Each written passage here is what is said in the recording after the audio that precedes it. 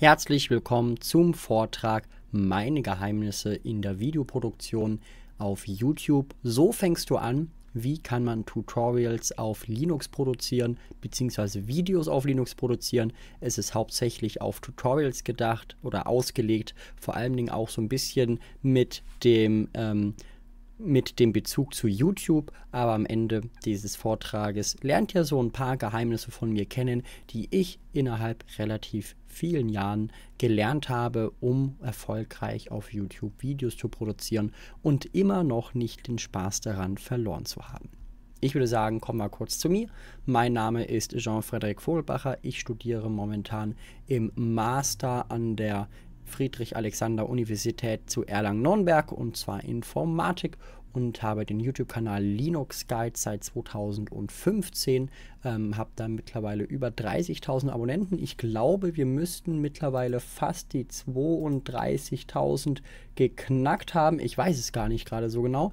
Und ähm, nahezu wöchentlich gibt es neue Videos tatsächlich rund um Linux und Open Source manchmal etwas lehrhaftere Videos, manchmal auch welche, die etwas informativer sind und ganz selten auch welche, die ein bisschen Spaß machen. Meistens ähm, sollte natürlich äh, das tatsächlich alles eher in Richtung Lehre gehen und äh, weniger, ich sag mal, Spaß haben. Aber trotzdem ähm, möchte man die Zuschauer abholen und ähm, genau auch tatsächlich so ein bisschen für Linux überzeugen. Das sehe ich auch so ein bisschen ähm, den Sinn des Kanals dahinter Linux Guides, ähm, einfach ähm, Linux und freie Software weiter bekannter machen, zu verbreiten und äh, die Bildung darin in gewisser Weise zu fördern. Ja, ich würde sagen, ähm, wenn nicht jemand anders besser geeignet ist, würde ich sagen, starten wir direkt los mit dem Vortrag. Wer den ähm, YouTube-Kanal noch nicht kennt, hier einmal dort. Ähm, genau, wir bestrahlen beispielsweise auch die Tux-Tage aus. Das ist auch das äh, Projekt, was ich da, ich glaube, im Jahr 2020 jetzt ähm, angefangen habe. Wie ist dieser Vortrag aufgebaut? Ähm, gehen wir von der Idee bis am Ende zum fertigen Video, sogar vielleicht noch darauf hin zum fertigen User-Feedback zur Veröffentlichung. Ähm, und äh, währenddessen gehen wir das erstmal so Schritt für Schritt theoretisch durch. Ich werde euch jetzt kein praktisches Beispiel zeigen, aber am Ende nach diesem Vortrag werdet ihr so ziemlich ähm, kennen, wie ich an ein Video rangehe, äh, wie ich es empfehlen würde, wenn man so etwas auch in der Richtung starten möchte, sei es im Bereich Linux, sei es auch in anderen Bereichen, geht generell um die ja, Content-Erstellung, wenn ich so möchte.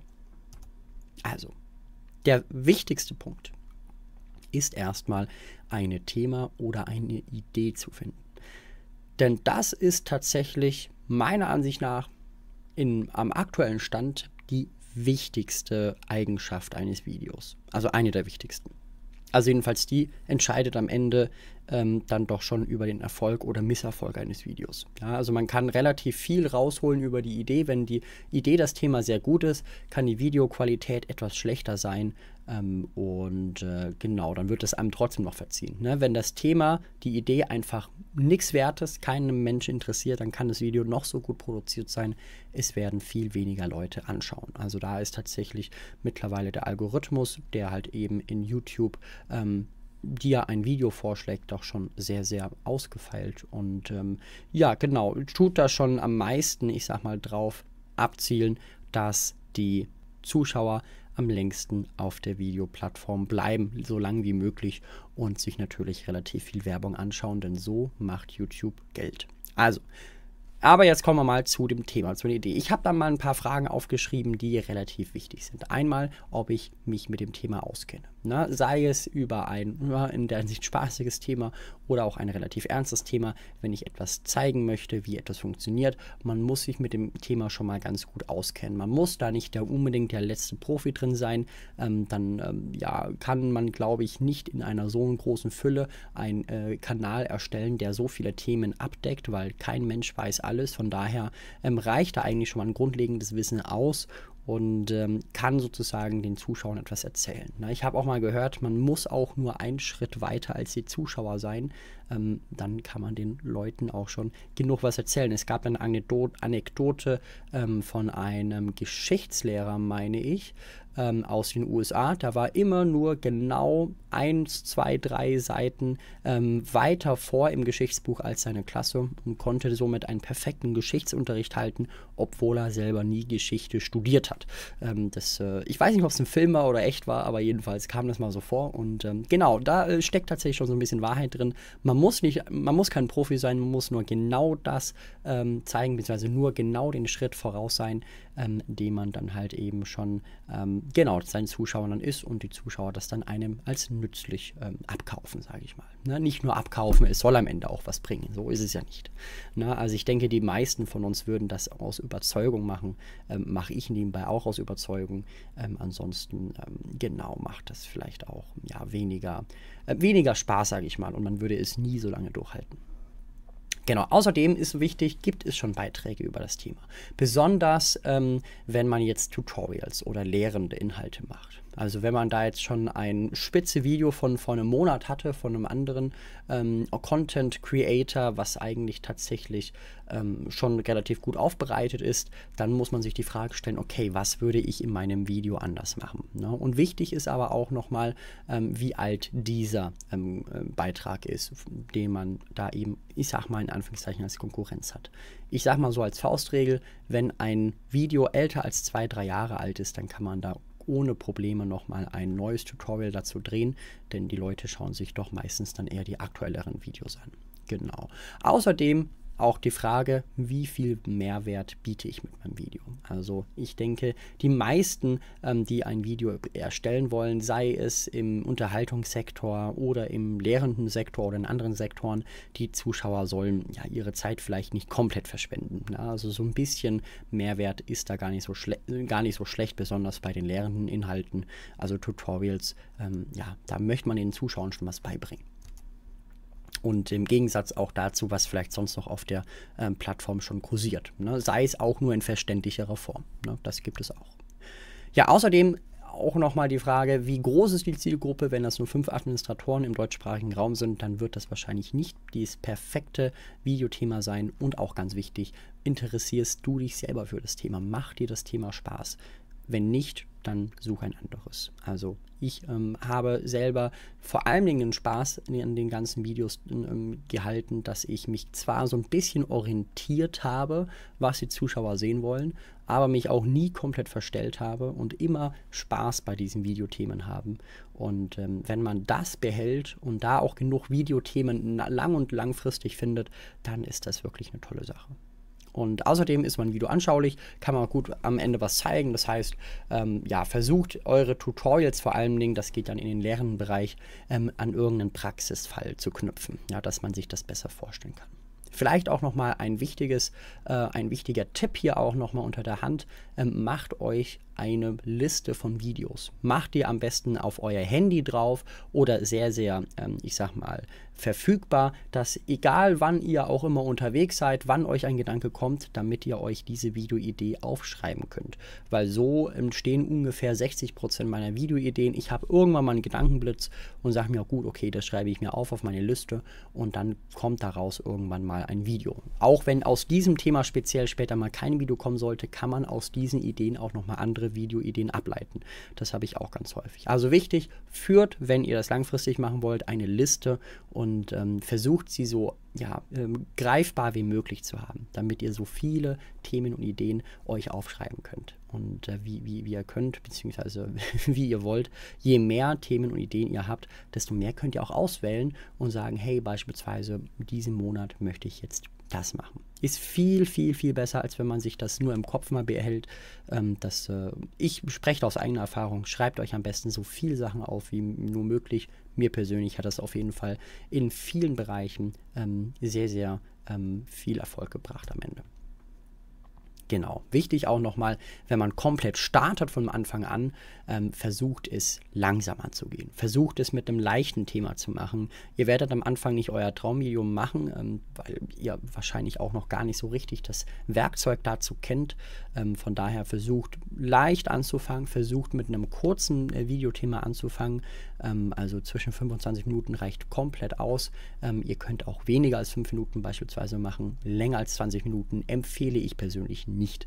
Ähm, ja, kann man auch machen, aber ja, versucht euch am Anfang ähm, nur auf die Videoproduktion selber zu konzentrieren und gar nicht so sehr krass auf das Thema, damit ihr einfach mal so diese Werkzeuge und auch so ein bisschen den, den, den Workflow kennenlernt. Also von Anfang bis Ende, wie entsteht eigentlich ein Video. Wenn wir später mal auf die Videolänge schauen, sind längere Videos durchaus schon sehr erfolgreich. Ähm, ich glaube, das sieht man auch ganz gut, wenn man mal meine erfolgreichsten Videos anschaut. Ähm, ich schaue da jetzt mal Just for Fun live nach. Mein erfolgreichstes Video ist eine Stunde lang. Danach haben wir 35 Minuten, 35 Minuten, 20, aber dann wieder 35 Minuten. Also wir sehen, äh, es gibt tatsächlich doch ähm, einige Videos, ähm, besonders auch die erfolgreichen, die auch schon relativ groß oder relativ lang sind. Das muss nicht unbedingt der Indikator für den Erfolg sein, aber vor allem im lehrenden Bereich, wenn man wirklich viel zu erzählen und viel zu zeigen hat, dann nutzt die Zeit, ähm, macht das Video auch gerne etwas länger. Bis zu 60 Minuten habe ich eigentlich immer super Erfahrung gemacht, dass da auch Zuschauer wirklich dranbleiben und sich das Ganze anschauen und das belohnt einem YouTube dann am Ende auch und ähm, schlägt dieses Video dann auch häufiger vor. Also von daher, wenn ihr genug zu erzählen habt, macht das auch gerne etwas länger, macht es aber auch nicht zu lang. Also versucht euch so kurz wie möglich zu halten. Niemand mag irgendjemanden, der hier die ganze Zeit nur irgendeinen Stuss erzählt und äh, eigentlich die ganze Zeit vom roten Faden abkommt. Weiter geht es mit dem Skript. Ja. Am Ende, ähm, wenn ihr ein Video, ein Thema gefunden habt, versucht da etwas herauszurecherchieren, versucht euch eine ganz klare Struktur zu machen, was möchtet ihr in dem Video vermitteln, was ist besonders wichtig, vielleicht auch so ein bisschen so ein Ablauf, ne? was mache ich wann. Ähm, da reichen in der Regel auch ein paar Stichpunkte komplett aus. Ich habe hier auch mal ein Beispiel mitgebracht, das ist jetzt hier ein Video, ähm, Skript einer meiner erfolgreichsten Videos auch. Und zwar, das ist glaube ich der Geheimtipp zu Linux Mint XFCE, hat jetzt knappe 50.000 Aufrufe und äh, das ist tatsächlich so ziemlich original ähm, mein Skript, was ich dazu geschrieben habe. Ja, also ähm, Äh, bitte, bitte nicht äh, Wort für Wort durchlesen. Ich selber habe mir das gar nicht mehr richtig durchgelesen, jetzt seit der Videoerstellung natürlich.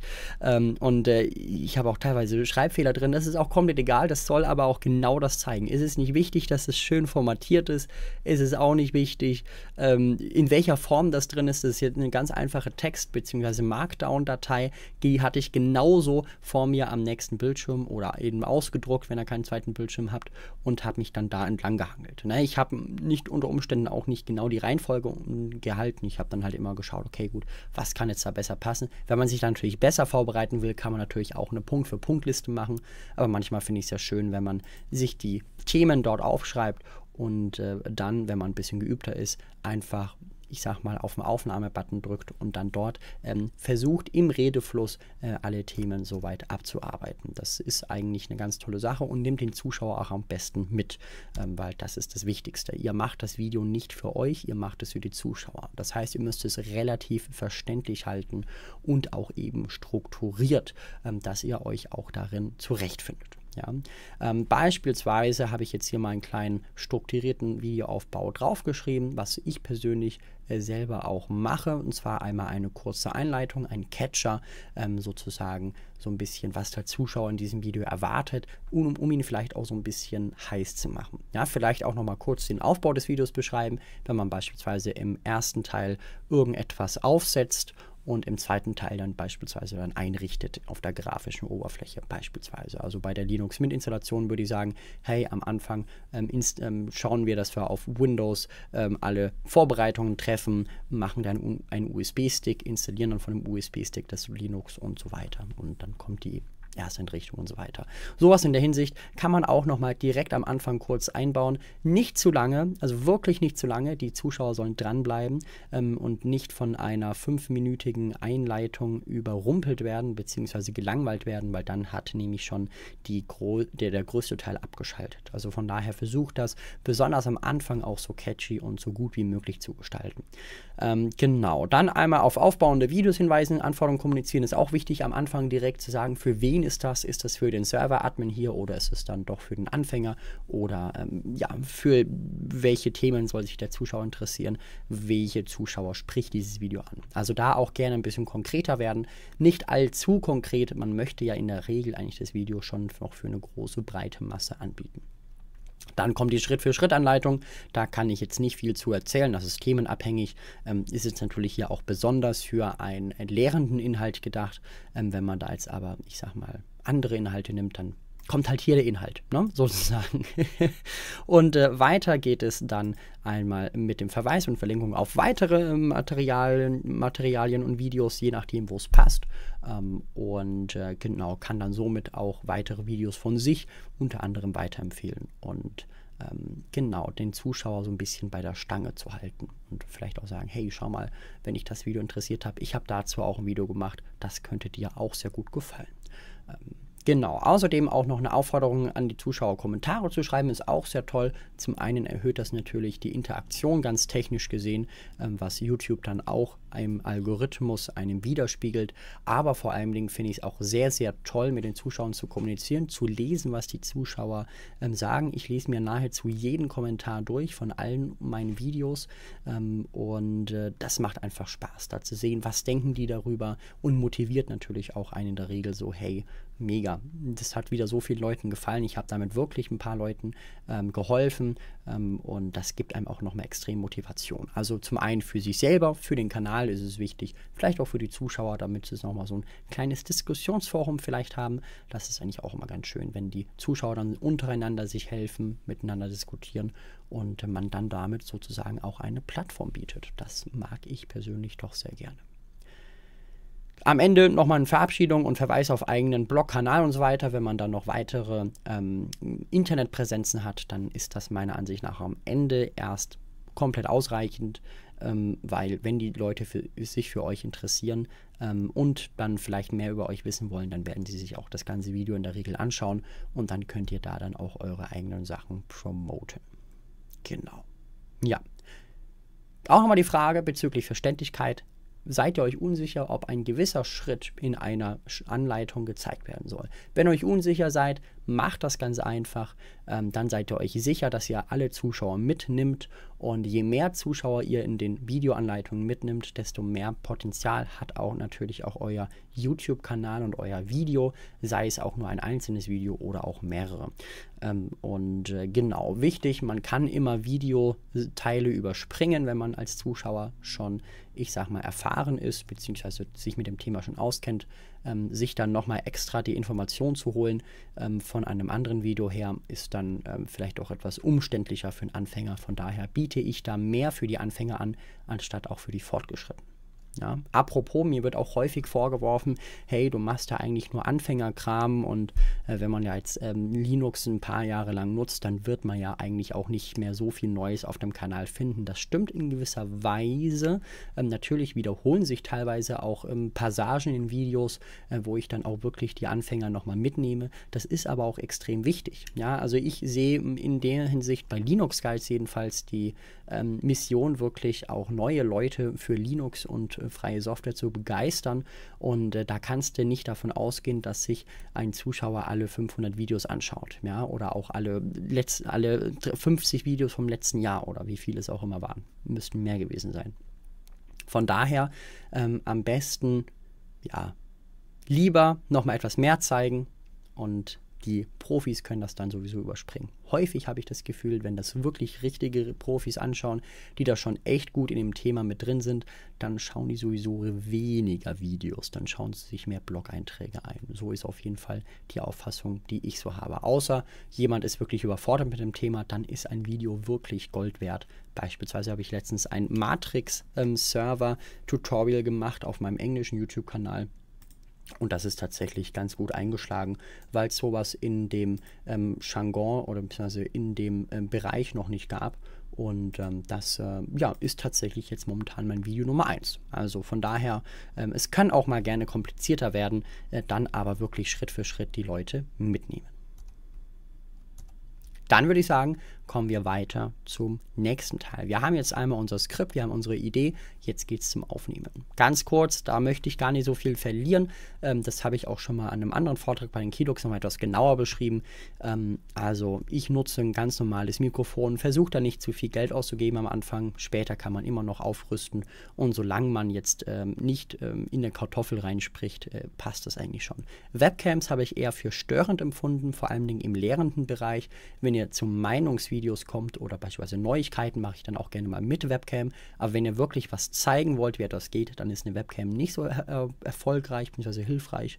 Ähm, auch einfach das Zuschauerfeedback gewesen. So, man will sich auf den Bildschirm konzentrieren und nicht auf den Hampelmann da unten rechts oder unten links. Und dann geht es weiter zu OBS. Also ich selber nehme dann mit Open Broadcaster Studio aus, ist ein Open Source Projekt und kann ich auf jeden Fall nur empfehlen. Da habe ich das PPA installiert und ähm, wenn ich viele lehrende Inhalte zeige, ähm, dann mache ich das über VirtualBox. Dann kann ich dann nämlich erstens ein generisches Linux-Umfeld schaffen, also ein ganz normales Linux mit oder Ubuntu, was jetzt nicht groß angepasst ist. Und ich kann auch, wenn ich möchte, Sicherungspunkte erstellen. So, weiter geht es mit den OBS-Einstellungen. Die habe ich hier nochmal ganz kurz gezeigt, gehe ich jetzt nicht näher drauf ein. Ganz normale Full-HD-Auflösung, macht da nichts Besonderes. Außer es lohnt sich wirklich, ähm, macht auch eure ganz normalen 30 FPS. Damit werden die Videodateien teilweise halb so groß und ähm, ihr müsst weniger hochladen, es muss weniger verarbeitet werden und so weiter. Und ähm, bei den Zuschauern kommt es teilweise sogar auch besser an, weil man beispielsweise bei YouTube entweder nur zwischen ähm, beispielsweise Full HD und 60 FPS dann entscheiden kann oder dann 720 Pixel und 60 FPS, äh, gar nicht mehr die 30 FPS, ähm, was dann vielleicht noch mal ein paar Geräte ausschließen könnte theoretisch. Von daher, ja, macht das erstmal groß, ohne großen ähm, Pipapo würde ich empfehlen. Ähm, da es kommt wirklich viel, viel mehr auf die Themen an ähm, und äh, vielleicht auch auf die, vielleicht auch auf die Videoqualität, wie man auch Sachen präsentiert, anstatt dass jetzt wirklich da das technisch auf dem, dass man da auf dem allerletzten Niveau ist. Man sollte nicht unterdurchschnittlich sein, aber gutes Mittelfeld, so wie wir das hier sehen, reicht komplett aus. Ihr müsst da kein Zauberer werden ähm, im Punkt der Videoqualität. Also das, ähm, solange man das versteht und dass man gut erkennen kann alles, dann ist das ganz gut. Außerdem bei der Aufnahme ähm, Text vergrößern ist super. Habe ich, glaube ich, irgendwo reingeschrieben. Genau, bei Terminalaufnahme Schrift vergrößern. Kommen später. Machen wir gleich. Zuvor ansonsten Sicherungspunkt in der virtuellen Maschine erstellen ist super bei der Vorbereitung. Und ähm, natürlich Skript verinnerlichen. verinnerlichen ähm, also sich davor nochmal ganz kurz anschauen, hey, was möchte ich jetzt eigentlich in diesem Video sagen, hilft auch extrem. Sowie auch Stimmübungen, wenn man da jetzt gerade äh, frisch aufgestanden ist und noch so eine zippig knatterige Stimme hat, dann ist es vielleicht nicht das perfekte Setting, jetzt ein Video aufzunehmen. Ähm, man möchte ja eigentlich den Zuschauer ähm, schon eher motivieren, beziehungsweise ähm, ja, einfach ein tolles Bild abgeben und da nicht schon direkt ein schlechtes Gefühl geben und so denken, ha, der hat gestern eine sehr durchzechte Nacht gehabt. Das sollte man eigentlich nicht in der, ähm, ja, in der Aufnahme mitbekommen als Zuschauer. Ansonsten, natürlich sprechen ist wichtig. Manche, äh, beispielsweise auch Michel Franken, müsste seinen Text komplett aufschreiben und dann einfach einsprechen und dann sozusagen ablesen. Ich finde, das erkennt man auch immer und ähm, stört auch immer so ein bisschen im Redefluss. Ist mir persönlich so gegangen, geht mir pers persönlich als Zuschauer auch so. Von daher finde ich eine natürliche Aussprache schon extrem wichtig. Man sollte natürlich aufpassen, dass man da am Ball bleibt und nicht kompletten Schluss erzählt. Ähm, dann kann sowas vielleicht auch helfen in Stichpunkten. Aber ich würde persönlich wenig komplett ausformulierte Sätze aufsprechen. Ich finde, das merkt man immer sofort als Zuschauer und ähm, kommt auch einfach nicht so gut rüber. Ne? Für Anleitungen ist das schon noch okay. Ähm, nebenbei kleiner ähm, Hinweis, naja, also ihr müsst euch ja auch nicht doppelt Aufwand machen sozusagen. Also von daher, ja, Ich würde das nicht unbedingt formulieren, außer man hat nochmal einen Blogartikel, wie beispielsweise auch Michel Franken, dann kann man das schon machen. Ich persönlich ähm, würde es trotzdem nicht machen, weil warum sollte man sich einen Blogartikel durchlesen und danach nochmal das Video genau nochmal direkt anschauen? Viel weiter oder viel mehr Sinn macht es eigentlich, einen Blogartikel zu schreiben ähm, und dann nochmal im Video auf ein paar weitere Aspekte eingehen oder andersrum, dass wirklich die Zuschauer vielleicht die Möglichkeit haben und auch vielleicht den Grund haben, vielleicht beide ähm, Formen eines äh, Inhaltes zu konsumieren, äh, um dann auch nochmal da was dazu zu lernen. Ansonsten, ähm, genau, Dialekt so gut wie es geht vermeiden. Ähm, keiner möchte einen äh, Franken oder einen Bayern oder einen Sachsen hören. Ähm, in der Regel kommt da tatsächlich das Hochdeutsche schon am besten, außer man hat wirklich einen tollen Dialekt. Ähm, vielleicht, wenn die Niederbayern da nochmal so ein bisschen da, da, dazulegen, ich glaube, das, das könnte ganz gut gehen. Ne? So nach dem Motto, nein. Also versucht Dialekt so gut wie, wie es geht zu vermeiden, dann seid ihr auf der sicheren Seite, dass jeder euch versteht und ja, das Video auch nicht unnatürlich wirkt oder beziehungsweise keine Zuschauer abschreckt. Also ich würde generell mit irgendwelchen Sachen, die nicht generisch sind, versuchen, so wenig wie möglich, ich sag mal, Partei zu ergreifen für verschiedene Sachen, dass man so wenig wie möglich Zuschauern auf den Schlips tritt sozusagen. Also beispielsweise auch Politik komplett raushalten nebenbei. Also mache ich auch. Ähm, die politische Meinung ist in dem Fall am Ende meine Privatsache und hat meiner Ansicht nach auch nichts auf so einem YouTube-Kanal verloren, außer man möchte natürlich politisch da aktiv werden, ähm, könnte aber relativ viel Sprengstoff, für relativ viel Sprengstoff sorgen. Von daher versucht, äh, solche persönlichen Sachen generell rauszuhalten, beziehungsweise politischen Sachen. Ansonsten andere persönliche Sachen äh, könnten teilweise hilfreich sein, um einfach nochmal so ein bisschen natürlicher wirken für den Zuschauer, ähm, wenn man da einfach nochmal ganz kurz ein Beispiel aus der eigenen Praxis oder sowas ähm, äh, erzählt, ähm, dann fühlt sich der Zuschauer vielleicht auch manchmal noch mal ein bisschen besser mitgenommen und kann vielleicht auch besser den ähm, Vortragenden dann auch ja, nachvollziehen, verstehen, ähm, was eigentlich auch ganz schön für beide Seiten ist.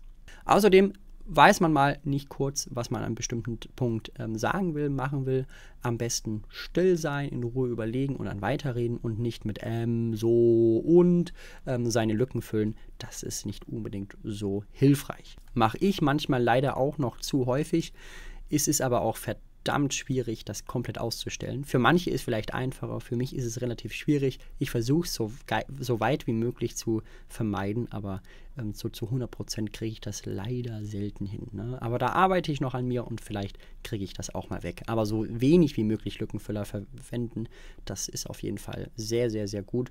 Und auch vor allem Dingen, wenn man geordnet, langsam spricht und auch mal Pausen einbricht, ein, ähm, einbringt, meine ich, dann kann man viel, viel besser im Nachhinein sein Video schneiden, anstatt man hat einfach einen kompletten Wortsalat und muss sich dann so durch Frame von Frame kämpfen. Und glaubt mir, das ist sehr, sehr, sehr, sehr nervig, sehr zeitintensiv und bringt eigentlich am Ende keinem was. Ansonsten klappt ein Teil während der Aufnahme nicht so gut im Sprechen oder habe ich irgendwie einen Teil vergessen oder irgendeinen Teil ähm, einfach ja, nicht geschafft, beziehungsweise einfach versagt in, einem gewissen, in einer gewissen Sache, dann am Ende einfach, beziehungsweise direkt nochmal ähm, ein paar Schritte zurückgehen und dann einfach nochmal von vorne starten und sich am besten merken, wann man das ungefähr gemacht hat, dass man das im Videoschnitt dann direkt später auch nochmal, ich sag mal, direkt rausschneiden kann, beziehungsweise sich noch erinnern kann, ah, okay, den Teil, den ich jetzt gerade erzähle, den fange ich gleich eh nochmal neu an. Von daher kann ich den Teil sogar wieder rauscutten. Das ist tatsächlich auch eine gute und hilfreiche Sache, womit auch viele Kollegen von mir, ähm, ich sag mal, relativ effizient ein komplettes Video aufnehmen können, ohne erstens viel zu schneiden und trotzdem noch sehr kompetent zu wirken. Und natürlich auch das Video so kurz und knackig und informativ wie möglich zu halten. Weiter geht es zum Schnitt, zur Nachbearbeitung. Manche hauen ihre Videos komplett voll mit Effekten. Das ist eine sehr, sehr tolle Sache. Ich persönlich habe für mich entdeckt, dass das nicht unbedingt die, ja, der Punkt ist. Als Tool verwende ich da eigentlich hauptsächlich nur Cardin Live, so ein bisschen zum Schneiden ähm, und zum Rausschneiden von irgendwelchen Versprechern oder zu Neuanfängen, sage ich mal. Audiobearbeitung habe ich früher noch gemacht mit Audacity, mache ich mittlerweile gar nicht mehr. Mein Mikrofon ist okay dafür, was ich ähm, jetzt ähm, aufnehme und von daher ja, habe ich meistens nur den Ton früher verschlimmbessert, von daher lasse ich das in der Regel. Außer ihr seid wirklich richtig guter Tontechniker, dann könnt ihr da nochmal rangehen.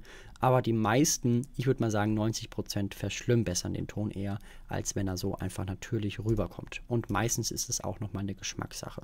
Also von daher ähm, bearbeite ich die Stimme einfach seit Jahren, glaube ich, auch nicht mehr. Und spart mir auch immer wieder, ja, so fünf Minuten manchmal ähm, pro Video. Und das ist natürlich auch nochmal hinzugewonnene Zeit. Und wenn wir das mal ein bisschen hochrechnen, dann ist das gerne auch mal, ähm, ja, eine gute Stunde bzw. mehrere Stunden pro halbes Jahr oder pro Jahr.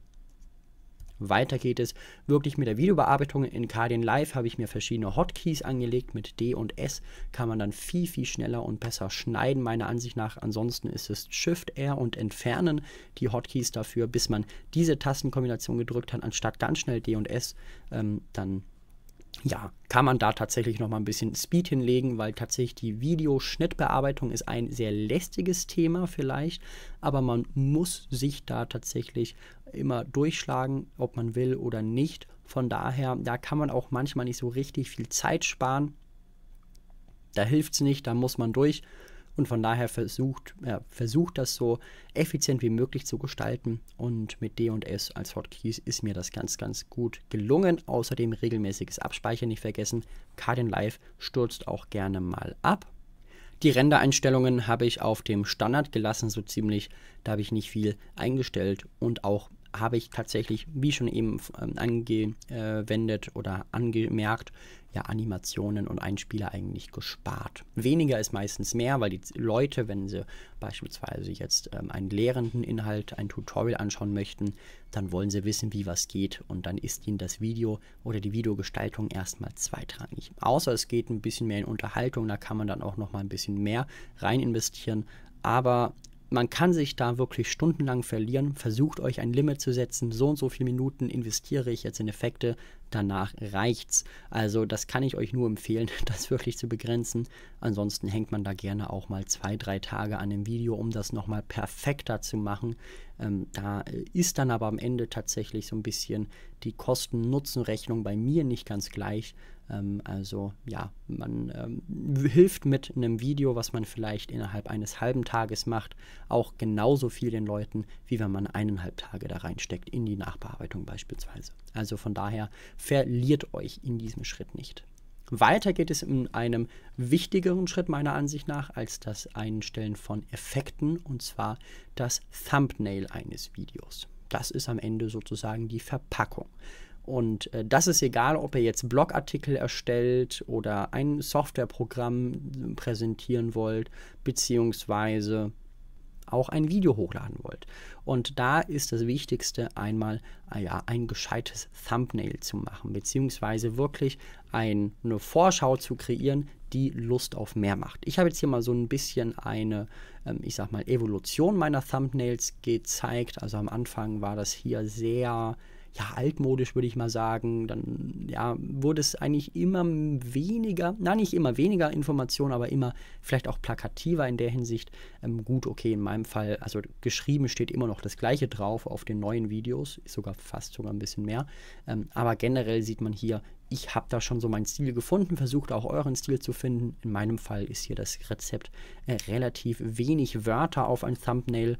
Ähm, viel Bild zeigen tatsächlich ist hilfreich und äh, ich sag mal das Wichtigste natürlich ähm, in dieses Thumbnail zu packen und auch so spannend wie möglich und auch so spannend wie möglich zu gestalten, dass man wirklich Lust bekommt, als Zuschauer da drauf zu klicken. Versetzt euch auch gerne mal in die Lage, macht auch gerne mal während dem Erstellen des Thumbnails das Thumbnail einfach klein und schaut euch an, wie wirkt das auf einen Zuschauer, weil der Zuschauer wird das ja nicht erstmal riesig äh, vor seinen Augen sehen, sondern auch relativ klein auf dem Handy oder auf dem ähm, Rechner und dann müssen da die wichtigen Sachen zu erkennen sein und unwichtige Details lasst ihr am besten aus.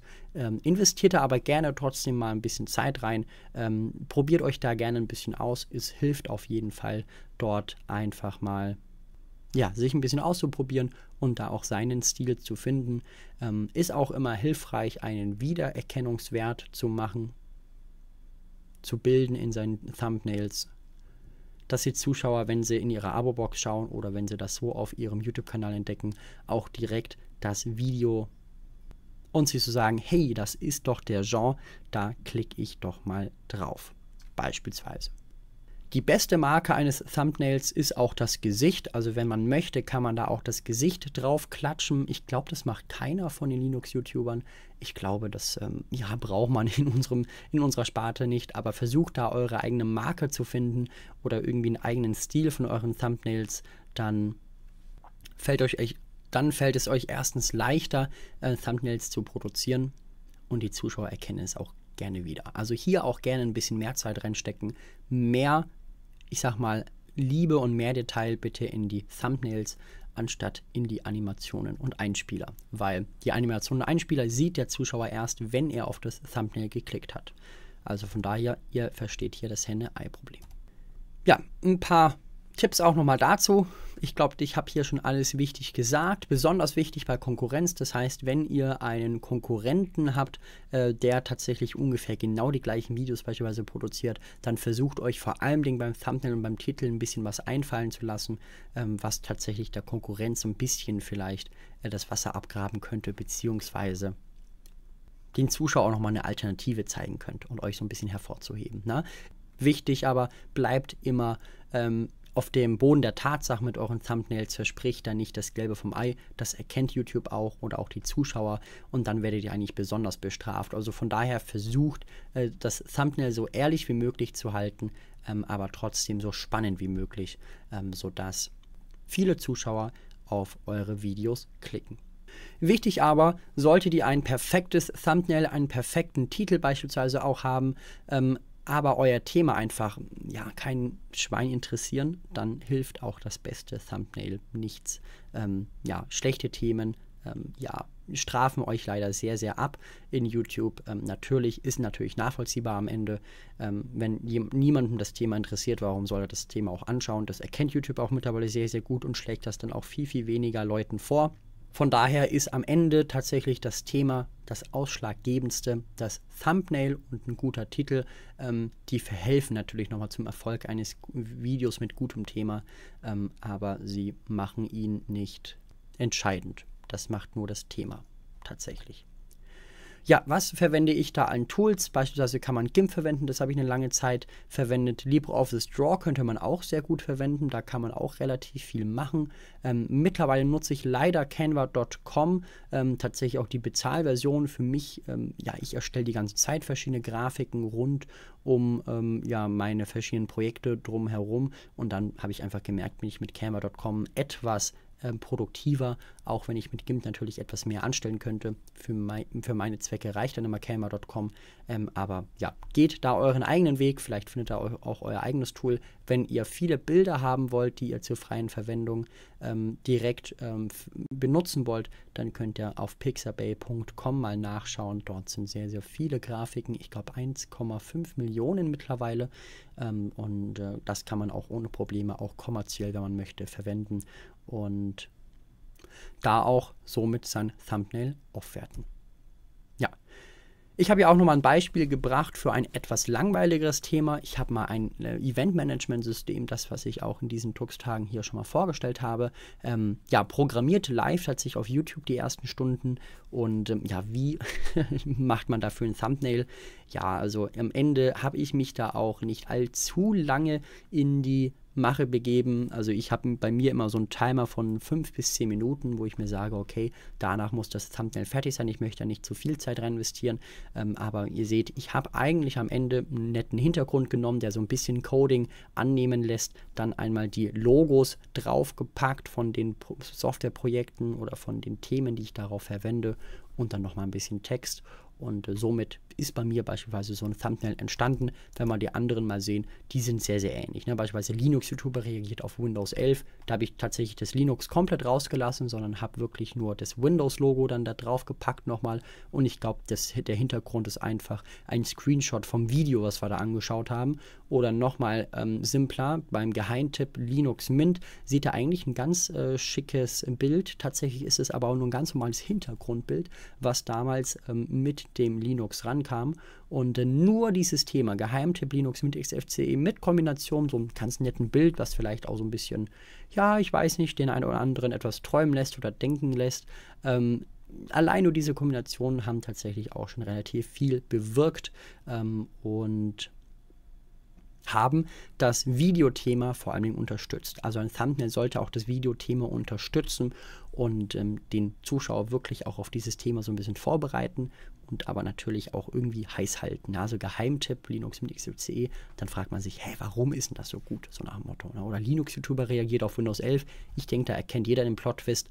Aber ansonsten auch relativ ähm, starre Themen wie Linux Mint Sarah Version 18 denkt man so, ja, und das hat viele Aufrufe gegeben. Ja, in der Tat. Also tatsächlich, äh, Leute interessieren sich auch gerne mal einfach nur für neue Versionen. Also es muss nicht unbedingt immer das perfekt recherchierte Thema sein, wo man stundenlang dran saß. Manchmal sind es auch fast die plumpen Themen, die mindestens genauso viele Aufrufe bringen. Also da muss man aber auch so seine Mitte finden. Wenn ich nur plumpe Themen machen würde, würde ich irgendwann den Spaß an YouTube verlieren und denke mir, wofür mache ich das eigentlich? Von daher versuche ich da immer eine ganz gute Mitte zu finden und versucht einfach am Ende, dass ihr auch zufrieden und überzeugt von der Videoerstellung seid, dann ähm, kommt ihr damit eigentlich am besten durch und habt auch am meisten Motivation.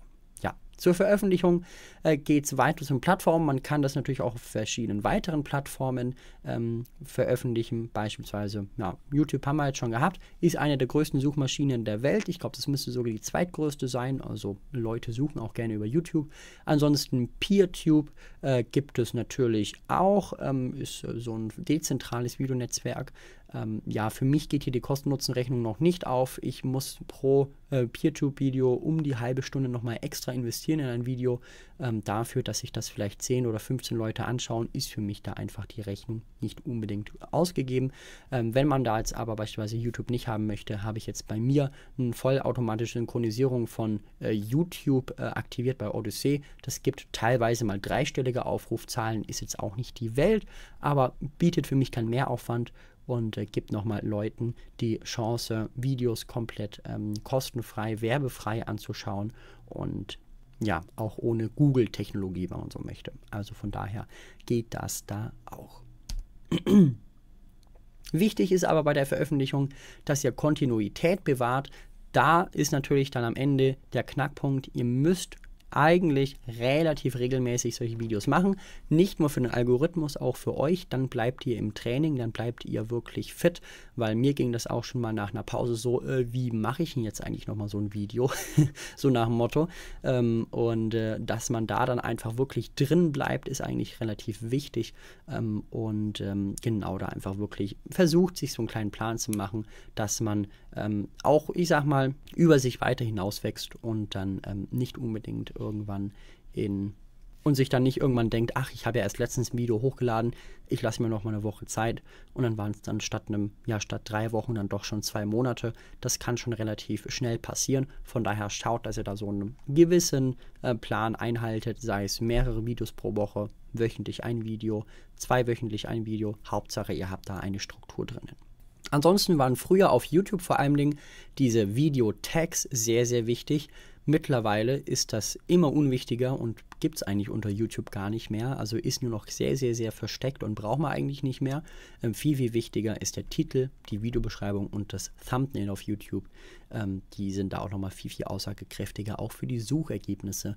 Und äh, ich bin mir sehr, sehr sicher, dass YouTube auch den Text des Videos ähm, übersetzt bzw. erkennt, was man darauf sagt und wendet darauf auch nochmal die Suche an. Bin ich mir zu 100% sicher, dass sie das auch machen und nicht nur das Thumbnail diesen, den Titel und die Videobeschreibung verwenden. Also ich gehe mir ganz, ganz sicher davon aus, dass die auch das Video vom Audio her analysieren. Ne? Ist bei Odyssey jetzt beispielsweise noch nicht so oder bei ähm, PeerTube, da ist es dann auch nochmal wichtiger, ähm, ich sag mal, Tags zu verwenden und ähm, versucht dann da auch die Tags oder die Überschriften so zu wählen, wie ein Zuschauer vielleicht nach euren Inhalten suchen würde. Ja, also das ist vielleicht auch nochmal wichtig, wirklich sich immer an verschiedenen Stellen der Videoproduktion in den Zuschauer reinzuversetzen, wo ähm, steht der Zuschauer gerade, was denkt der Zuschauer gerade, was könnte er denken und äh, wie könnte er vielleicht dann in dem Fall auch nach meinen Inhalten suchen. Genau, feste Upload-Zeiten, Upload-Tage sind stärkstens empfohlen. Äh, also einfach auch wirklich für euch, ähm, damit ihr da auch so einen Flow habt und dann da weiter am Ball bleibt. Ja, ansonsten kommen wir zum User Feedback. Ähm, teilweise kann User Feedback sehr, sehr, sehr hart sein. Also ähm, es äh, gibt immer mal wieder Kommentare, auch unter meinen Videos oder auch unter Videos von Kollegen. Manche ähm, haben da auch schon deswegen aufgehört, ähm, die einfach sich gesagt haben, nee, die Community ist teilweise so undankbar, die Zuschauer sind so undankbar, meckern nur die ganze Zeit, die sehen es. Und ähm, das ist tatsächlich aber auch immer nur ein ganz, ganz kleiner Teil der Zuschauer ich sag mal, 95% der Zuschauer finden die Videos cool, unterstützen das, beziehungsweise ja, freuen sich einfach auch, wenn ein neues Video hochgekommen ist. Die schreiben sowas aber auch nicht immer. Die, die wenigsten schreiben, hey geil, nochmal ein neues Video, danke dir, sondern das schreiben dann meistens nur die Leute, denen das Video erstmal nicht so gut äh, gefallen hat. Und wie wir leider als Menschen auch gebaut sind, ähm, festigen sich diese negativen Kommentare immer viel, viel mehr in den Gedanken nieder, als jetzt irgendwie ein positiver Kommentar. Ist leider sehr, sehr schade. Ja, also von daher ähm, versucht nie den Spaß daran zu verlieren, versucht ähm, hinter den Videothemen zu stehen, ähm, ja, versucht auch hinter den Videos zu stehen, die ihr macht, dass ihr euch auch mal jeden Morgen in den Spiegel schauen könnt und sagen könnt, hey cool, ich mache coole Videos. Muss man tatsächlich auch manchmal machen, äh, wenn man da dann doch mal wieder ein bisschen mehr Gegenwind bekommt. Das ist aber leider in gewisser Weise ganz normal, ist klar, das Internet ist einfach ein leider sehr asozialer Raum, auch wenn es Social Media heißt. Ähm, die Leute verstecken sich hier hinter dem Bildschirm und können alles schreiben, eigentlich meistens ohne irgendwie einer Rüge und so weiter und haben da meistens einen größeren eine größere Klappe, nenne ich es jetzt einfach mal, als wenn sie dann einem gegenüberstehen. Also von daher wichtig, vor allem wenn es persönlich wird, versucht das User-Feedback nicht zu krass an euch ranzulassen. Und auch nochmal ganz, ganz wichtig, niemals mit den Zuschauern diskutieren. Man selber kann als YouTuber oder als Videoersteller eigentlich nur verlieren, wenn man auf Diskussionen eingeht.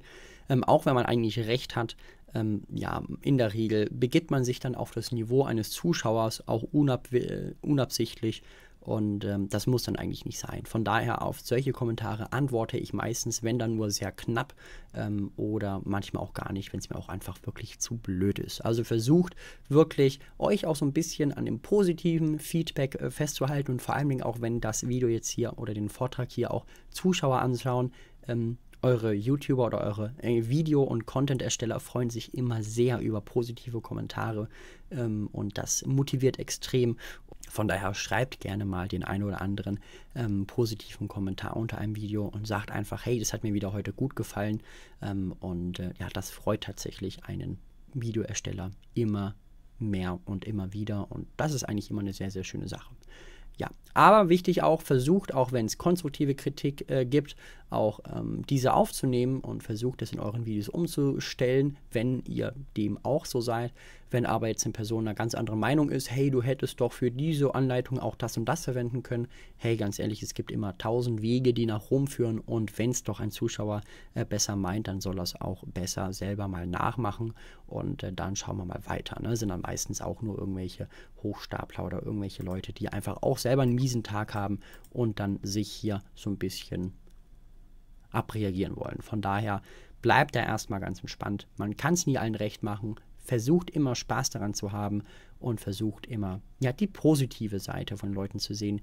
Es gibt immer welche, die euch kritisieren werden, egal wie gut euer Video ist. Und sobald man das verstanden hat, kommt man da eigentlich auch ganz gut durch. Manche haben es leider nicht verstanden, beziehungsweise ähm, denen hat das dann zu sehr angesetzt und die haben dann tatsächlich langfristig auch aufgehört, was sehr schade ist. Und besonders in der Linux-Community finde ich das sehr schade. Der Ton ist teilweise sehr, sehr rau, auch in verschiedenen Foren.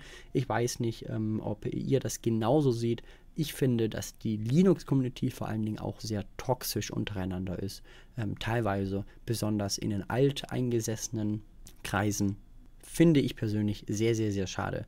Ähm, und versuche ich auch immer, auch auf meinen Plattformen auseinanderzuhalten und auch tatsächlich rauszuhalten. Also wenn sich Leute in den Kommentaren oder im Forum nicht benehmen können und immer respektlos auf andere äh, Leute antworten. Klar ist von der Meinungsfreiheit gedeckt, aber ganz ehrlich, wir wollen ein nettes Miteinander. Die Leute können auch gerne woanders ihre Meinung hinschreiben und müssen dann nicht schlechte Laune in irgendwelchen Foren oder Kommentarsektionen verbreiten. Vor allem, wenn es dann häufig eigentlich nicht mehr ums Thema geht. Ja, das wäre es eigentlich so ziemlich dazu. Jetzt haben wir hier nochmal alles Wichtige auf einen Blick. Also, das Wichtigste ist tatsächlich das Videothema, dass ihr da gewappnet drauf seid. Macht das lieber einfacher als komplizierter am Anfang. Später ins Komplizierte könnt ihr immer noch gehen. Die ähm, Videostruktur ist auch sehr essentiell. Schaut, dass er da den Zuschauer an einem roten Faden mitnimmt. Versucht Schritt für Schritt aufzunehmen, wenige Sprechpausen so weiter zu machen, so wenig wie nötig nachzubearbeiten. Gute Thumbnails, gute Titel sind sehr, sehr wichtig und regelmäßig auf festen Plattformen ähm, Veröffentlichung und tatsächlich auch Userkritik niemals zu Herzen nehmen, sondern nur professionell aufnehmen und eher meistens auf die helle Seite der Kommentare zu schauen, weil die überwiegt in der Regel doch sehr, sehr stark. Und ja, was ist jetzt vielleicht mein Top-Geheimnis, um YouTube zu machen, um so einen YouTube-Kanal aufzubauen? Und das ist einmal Spaß, so ein bisschen Leidenschaft natürlich auch, ähm, Kontinuität, Durchhaltevermögen und Motivation. Wenn ihr diese fünf Sachen habt, egal in welchem Thema, dann seid ihr gut geeignet für die Videoerstellung oder für euer Team, was ihr angehen wollt. Und dann schafft ihr das auch gut. Eigentlich immer dranbleiben, Spaß haben, lernen, besser werden. Niemand ist vom Himmel gefallen und konnte schon direkt alles. Fangt Schritt für Schritt an, habt Spaß bei dem, was ihr macht und versucht euch stetig zu verbessern. Aber schaut auch, dass die Kosten-Nutzen-Rechnung bei euch auch immer aufgeht. Und wenn ihr diese Tipps beachtet und das ja, jetzt die mittlerweile sieben Jahre lang durchmacht, dann solltet ihr eigentlich auch relativ erfolgreich sein. Vielleicht auch schon ein bisschen früher. Vielen, vielen Dank fürs Zuschauen und dann würde ich sagen, kommen wir zum letzten Vortrag der Tux-Tage.